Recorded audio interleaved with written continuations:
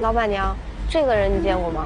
七月四号晚上十点半到十一点钟左右，那天晚上下暴雨，买了很多东西，他都买什么了？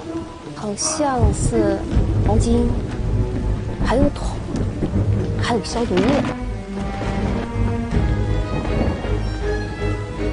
你看这外表特征，他就是赵宇啊！得用证据说话。魏叔，奶奶就拜托你照看景阳。到底出什么事了？没事，奶奶啊，我很快就接你回来啊。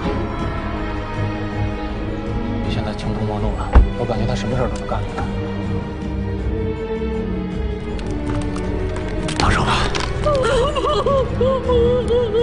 所以啊，人在低谷的时候，要是有人愿意拉你一把，一定要抓住了。来。